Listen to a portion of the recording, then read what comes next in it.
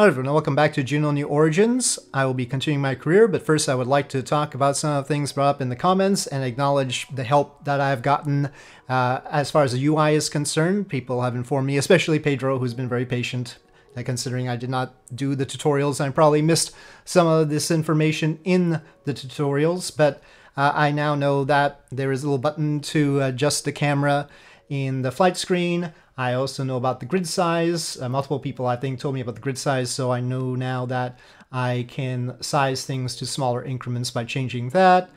Uh, so yes, thank you for that. And I had specifically asked about duplicating parts, and now I know right-click and drag to duplicate parts. Um, so there's that.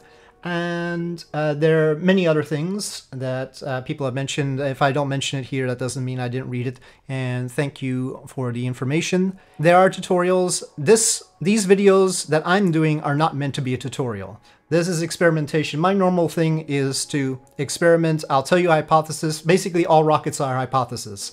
I think this will work because and I'll talk about the logic behind the design of it. We'll test it out, and if something doesn't work, I'll create a new hypothesis. So that is the idea. Also, I'm making the rockets as close to failing as possible, uh, generally speaking. So uh, one thing, I already knew about the center mass and center lift indicator, uh, but you can see uh, they're very close to overlapping. In fact, the center of lift here is a little bit higher than center mass, partly because of the extreme, I mean, presumably, I, I would think so, because of, of course, the fairing and then this extremely large cone here creating a lot of pressure. But um, yeah, you can get away with that if you have a gimbling engine. And so part of what I was doing previously with the flippiness, I wasn't that surprised by the flippiness. Uh, maybe I overdid seeming surprised by it. But I wasn't surprised by the flippiness because I was trying to see how close I could get with those fins uh, to it flipping and resize them accordingly. So, but I, am generally sort of aware where the center of mass and center lift are, and I cut it all pretty close. There are probably other... Oh, um, Pedro mentioned that you can just stage the payload, so I know that. So, uh, yeah, if you mention it, I'll try to keep it in mind. And if I fail to do that, then you can uh, shout at me for it. Uh, but uh, yeah. Oh, uh, and uh, just to note, I do have a joystick and a throttle, and so you will not be seeing me press tab to do the control scheme that most people will have to do for the game, uh, because I'm using my joystick to control the rockets, and generally will. one thing I'll, you'll see me do is turn off the automatic stabilization and turn it back on depending on whether I feel like it is doing good things for me or not. We will continue like that and we will take a look at what contracts we now have. So uh, launch one CubeSat and we've got a specific apoapsis and periapsis. I mean, it's very similar to what we've already done, so start grounded is no problem either. So uh, let me see, take a look at the tech tree to see if we can unlock some different kinds of contracts by unlocking some technology. Um, this doesn't say anything about contracts. Some of them say something about new contracts. So, um, new contracts. Piston leg, soft landing. Well, I think the parachute might be more important. Heat shield and parachute. But they don't say anything about new contracts with those. Mage engine gas generator. We only have pressure-fed engines right now. This is the only one that says new contracts. But I'm afraid those new contracts have something to do with landing. In which case, if it's Droo we're talking about as far as landing, we probably want the heat shield and parachute. Right. So, um, let's let's unlock the heat shield first getting hot. But we need about 25 extra tech points, so let's see career. I'll just... I mean, can we do the same CubeSat on... Oh, this is, doesn't even have a CubeSat. Yeah, so can we do the same launch, both of these? Let's see. I mean, our current rocket should be able to do both. I hope this nose cone fairing isn't a bad idea. Oh, I guess one thing we can do is see what happens if we... Um, change the size of this. That nozzle's huge. I should tuck that in, darn it. It is time to do some... Well, let's size this tank first. Well, it's very subtle, but you can sort of see that because I shortened this tank a bit, now the center of mass is just the tiniest bit below the center of uh, center of lift is just the tiniest bit below the center of mass. If we really, uh, we don't really need the center of lift below the center of mass, but if we were really adamant about that,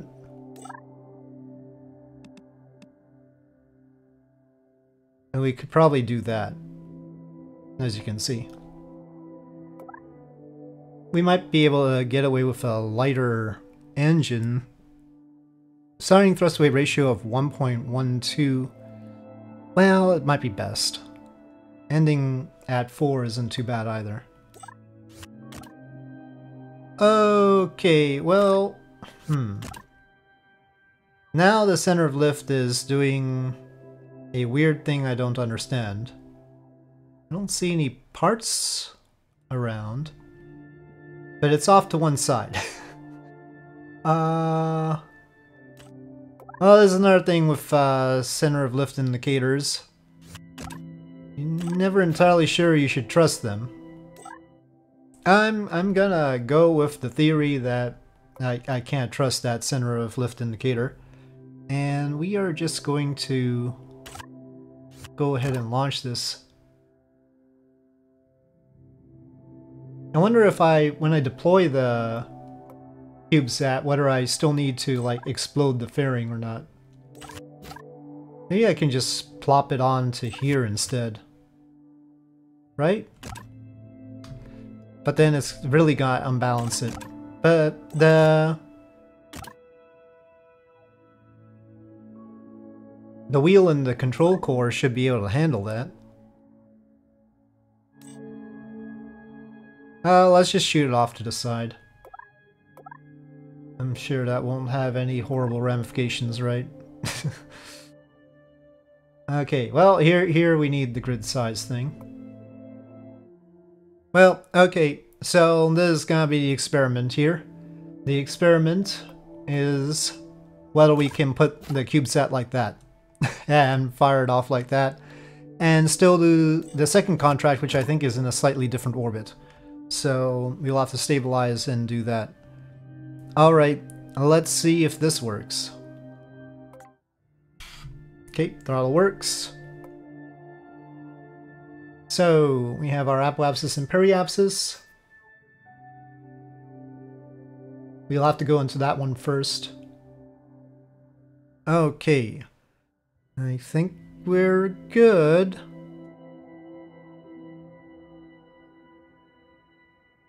Right. Launch. We are past the speed of sound. Okay, staging. Oh, oh, oh, oh, oh, oh. Hmm. Okay. Yeah. There's not an unusual way to mount a CubeSat, but probably this is going too far. I mean, the rocket is very light, and the CubeSat is probably not that light. So, okay, that was overly ambitious. I'm just gonna end flight. We'll uh, save flight. I'll just abandon that. So, uh, somebody suggested uh, undoing things. I don't. I'm not gonna undo things where something went wrong because of a choice I made, basically. So, in this case, we had our experiment. That was not good. So back up it goes. Alright, let's try it again. Launch a new craft. Wrong craft. Hold on, let me... Yes. Track this craft. Yeah, yeah, uh, track this one. Alright. And launch. We should be past maximum dynamic pressure. Ooh, just as I say that. we wiggle a bit, but it's alright. Okay, staging.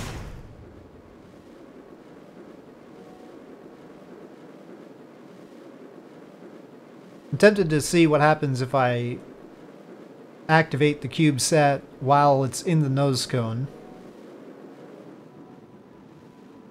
And yeah, I think somebody mentioned that you can put tanks into nose cone. Since I'm using it as a payload fairing, I don't feel right about that. Actually, since I have made orbit, I wouldn't have minded uh, going back and taking a look at those tutorials I skipped, but I, I don't think there's that functionality here. You can't go back to tutorials that you skipped. It would, might be a good idea, though.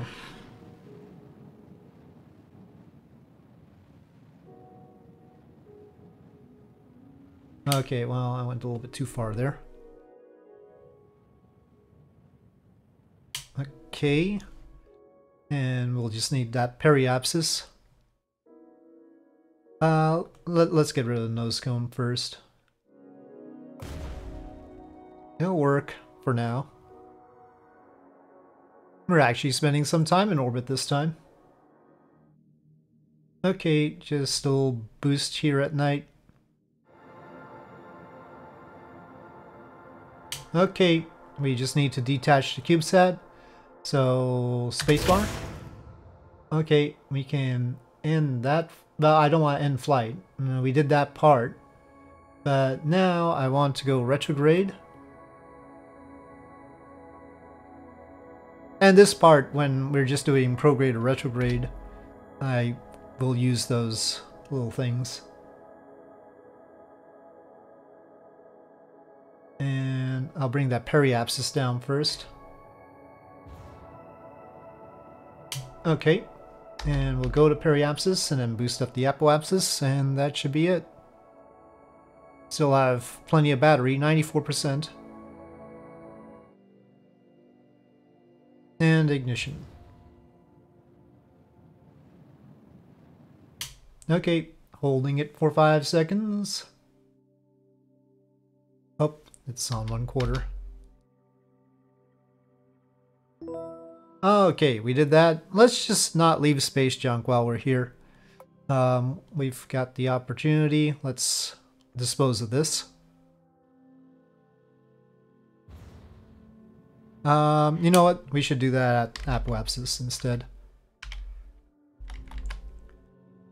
Okay, ignition.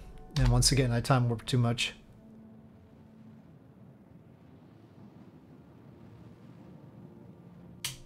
Okay, so that brings us to a negative periapsis. We're holding retrograde. Let's see what happens. We are in the atmosphere. Well, uh... We seem to have survived the heating. Which is interesting. Do I even need heat shields? Uh, it's very light though. It's a big container, right? There's not much mass to this. And it's got a fairly large surface area. But this is important information. Maybe I shouldn't have gone with the heat shield first. Maybe I should have gone with the parachute. See, yeah, testing this ahead of time would have informed a better decision on the tech tree. But hopefully we'll get some tech points to unlock things anyway. 64 meters per second. It's fairly low. Getting to 60 here on impact. Uh, it's still... Yeah, it's still all died. Okay. Well, we got our money. Okay. Quick deployment. Location. Um bit special. You have five minutes. Periapsis above 80 kilometers. Unlocks a new location.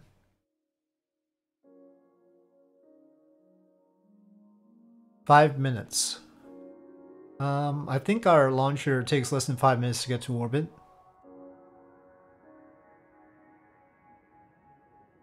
Okay. Right so... It seems important. It didn't say anything about CubeSat. I I don't. Uh, what's what's the catch? I'm wondering what the catch is. Is there a catch? Total burn time, 3.9 minutes. Okay. Um, it's not unlocked yet, so... Okay. Rapid deployment we go. Can't sneeze at two million bucks. We are past the speed of sound. Whoa, okay. Okay, go back. go back, go back.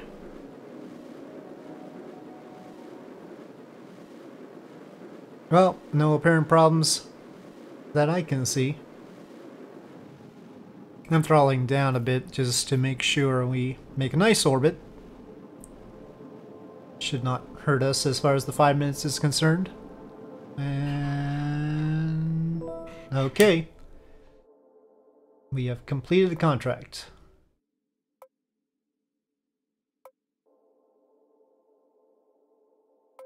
So, we've got a new launch site then, in theory. Heliosynchronous orbit.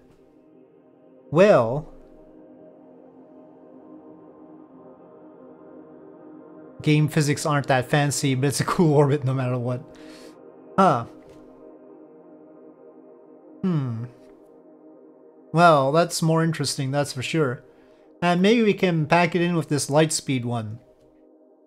Possibly getting out to that uh, 1,000 kilometer apoapsis. It might not need 4,000 meters per second, but we could probably bring it down afterwards anyway. Inclination 100 degrees though. That's interesting. We're gonna need a lot of extra delta V for this, but we've got money and it's about time we did something different than just orbit. Okay, let's try and pack both of these into the same rocket. So, I, am gonna want three stages now.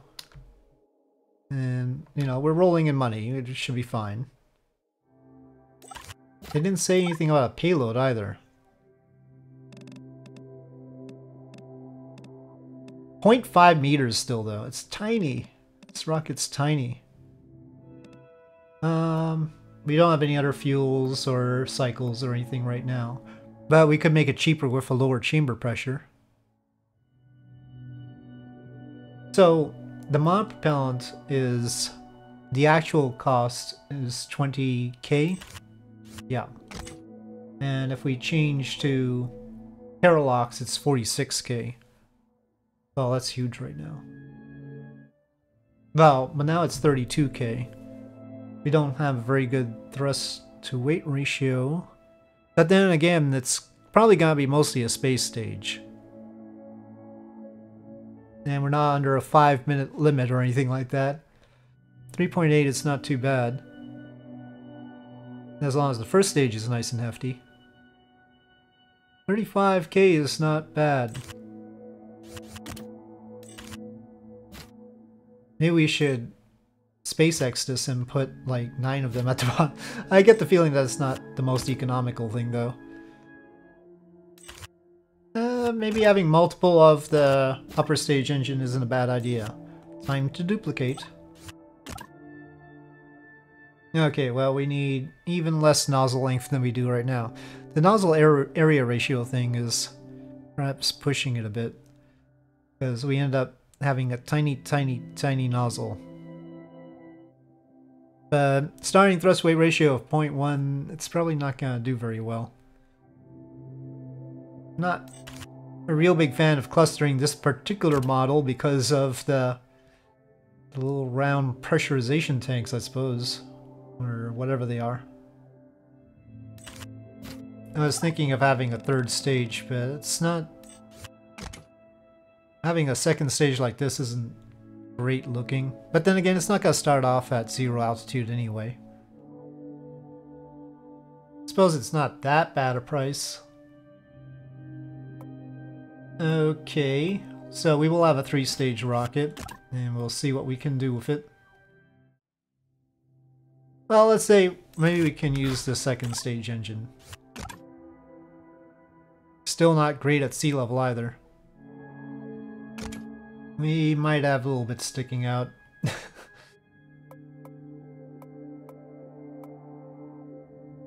Six of them. And they're sort of clippy. It's a little bit expensive. Okay, 7.33 kilometers per second though.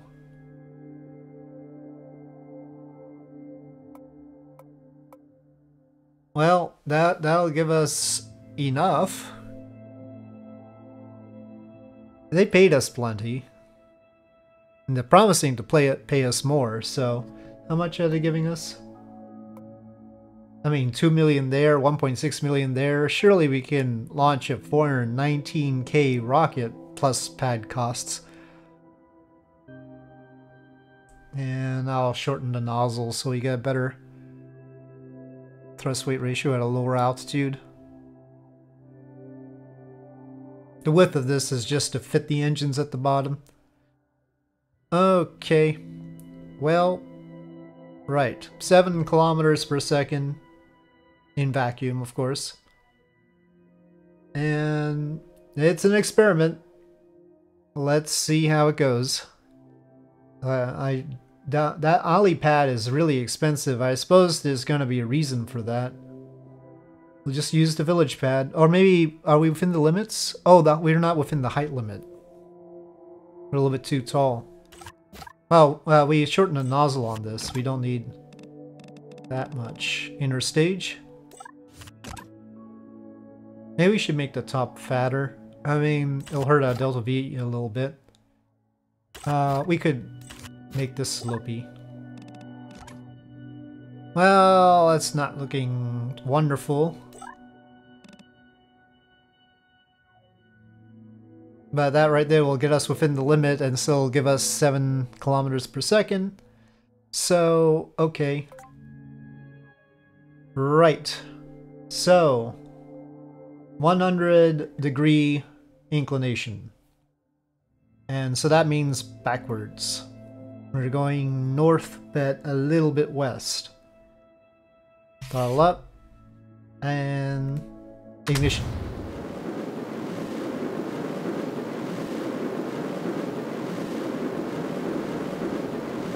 We seem to have enough battery power for this sort of thing, judging from the previous satellite mission. So 90 degree inclination would be just like north or south. To get more than 90 degrees, you have to go backwards, west a little bit.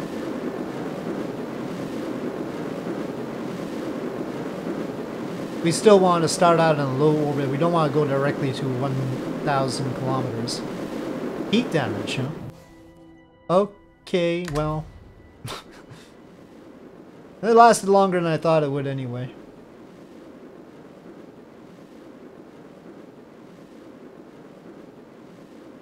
Yeah, we wanted to start out with a low periapsis for efficiency's sake. You get better bang for your buck if you're closer to the surface, and also to get to 4 kilometers per second, we'll want to be close. Oop, deviated a little bit. You want to be close to Droo. Okay, staging. Well, we got 3.67 kilometers per second here. We need to maintain some pitch to give it time. Okay, it's happy with that. Just point back to prograde a bit. Okay, an apoapsis of 100 is fine. Our time to apo apoapsis is more than enough. We can flatten out here.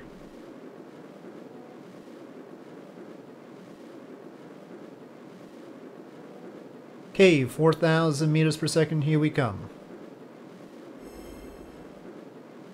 Completed tier 2 of Droo orbits by exceeding 5. We got 50 tech points for that.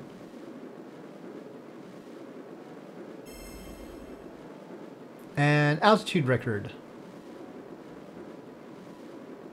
Well, we'll be getting a few of those.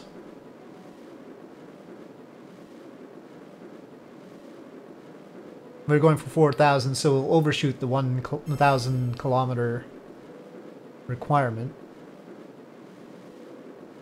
Okay, it's happy with that. So we actually got to close to 2,000, but now I'll have this flip around, uh, retrograde. And bring it back down to 1,000.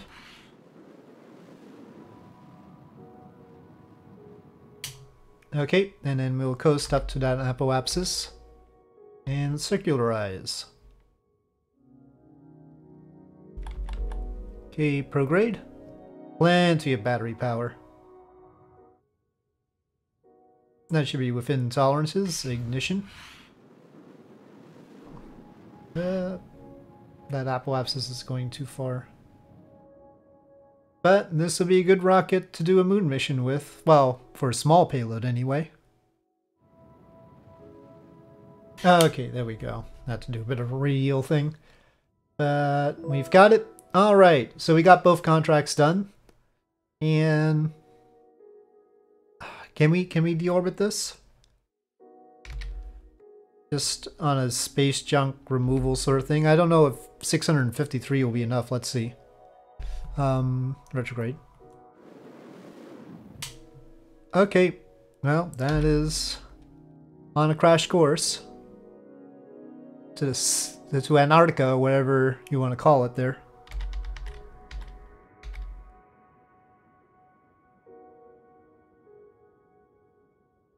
Well, I guess I don't need to follow it down. I'll trust that it gets eliminated this time. And in flight. Safe flight. Okay, well, we did some interesting things. And, well, we need to unlock some stuff in the tech tree if we want to get new stuff. So... New contracts here with system engineers. I'll take that. Mechanical engineers. I mean, that unlocks rounded noses and hemispheres and striped fuselages. I can't say that that's high on my requirement list. Uh, what we could have wanted was, let's just go with uh, gas generator engines, maybe. Yeah, let's get gas generator engines. Let's get parachutes.